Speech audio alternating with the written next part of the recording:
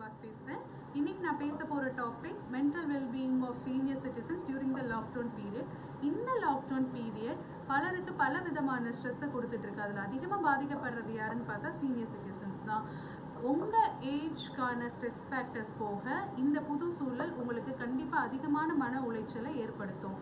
But உங்களோட mental ஹெல்த்தையும் உங்களோட physical ஹெல்த்தையும் நீங்களே டேக் கேர் பண்ணிக்க வேண்டிய கட்டாய சூழலில் இப்படி இருக்கீங்க. ஒரு சின்ன சின்ன விஷயங்களை ரொட்டீனில் ஆட் பண்ணி டெய்லி ரொட்டீனில் ஆட் பண்ணிக்கிறது மூலியம் உங்களால் இதை வந்து பேலன்ஸ்டாக கொண்டு போக முடியும். ஃபர்ஸ்ட் வந்து பார்த்தா ஃபிசிக்கல் ஃபிட்னஸ் நான் வெளியில் வாக்கிங் போய்கிட்டு இருந்தேன். எங்கள் வீட்டில் காரிடர் இல்லை. இப்போ என்னால் எங்கேயுமே வெளியில் போக முடியல. ஸோ நான் வாக் பண்ணுறது இல்லை அப்படின்னு கம்ப்ளைண்ட் பண்ணாமல் basic stretches hand and leg stretches மூச்சு பயிற்சி அதெல்லாம் செய்கிறதன் மூலியம் அந்த நாளுக்கான நல்ல ரெஃப்ரெஷ்மெண்ட் உங்களுக்கு கிடைக்கும். அதுக்கப்புறம் வந்துட்டு க்ளீனிங் க்ளீனிங் ஆக்டிவிட்டி மாதிரி ஒரு சூப்பர் ஸ்ட்ரெஸ் பஸ்டர் இல்லவே கிடையாது.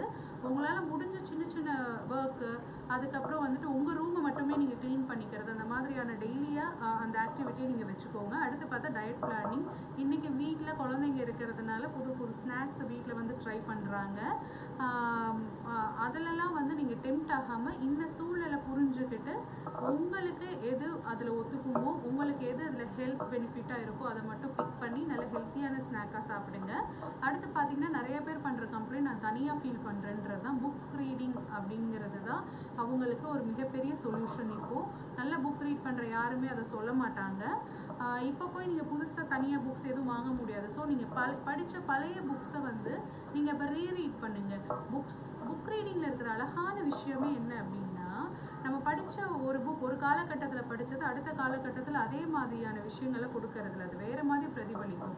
வேறு டைமென்ஷன் வேறு பர்செப்ஷனில் நமக்கு அது வந்து காட்சி அளிக்கும். ஸோ புக் ரீடிங்கை வந்து ஒரு கம்பல்சரி ப்ராக்டிஸாக வச்சுக்கோங்க. அடுத்து பார்த்தீங்கன்னா வந்து ஃபேமிலி டைம் கிட்ஸ் டைம் உங்கள் பேர பசங்களோட டைம் ஸ்பெண்ட் பண்ணுங்கள் அவங்களுக்கு நம்ம காலத்து கட்டத்தில் இருந்த உங்கள் காலகட்டத்தில் இருந்த பிரம்மாண்டமான கதைகளை சொல்லுங்கள் இன்றைக்கி டிவியில் வர கார்ட்டூன்ஸோ இல்லை டிவியில் வர ஷோஸோ அந்த பிரம்மாண்டத்தை அவங்களுக்கு கொடுக்கறதில்ல.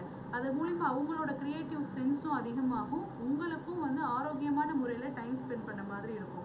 அடுத்து பார்த்தீங்கன்னா மொபைல் ஃபோன் அடிக்ஷன் இன்றைக்கி சீனியர் சிட்டிசன்ஸ்ட்டு ரொம்ப அதிகமாக பார்க்கப்படுற ஒரு பிரச்சனை வந்து mobile phone addiction mobile phone use பண்ணாதீங்கன்னு யாரையும் சொல்ல முடியாது. பட் அதில் என்ன யூஸ் பண்ணுறீங்க அப்படின்றதுல ரொம்ப காஷியஸாக இருங்க.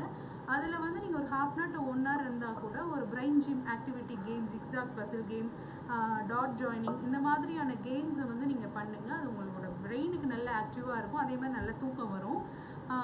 அதுக்கடுத்து பார்த்தீங்கன்னா வந்துட்டு மியூசிக் கேட்குறது உங்களுக்கு பிடிச்ச பஜன்ஸோ இல்லை மியூசிக்கோ ஏதோ ஒன்று நைட் டைமில் தூங்க போகிறதுக்கு ஒரு ஹாஃப் அன் ஹவர் முன்னாடி கண்டிப்பாக கேட்டுட்டு படுங்க. நல்ல ஹாப்பி ஹார்மோன்ஸ் நல்ல பாசிட்டிவ் எனர்ஜி க்ரியேட் ஆகும்போது ஆட்டோமேட்டிக்காக உங்களோட இம்யூன் சிஸ்டமில் நல்ல டெவலப்மெண்ட் இருக்கும். Stay happy stay safe and stay healthy thank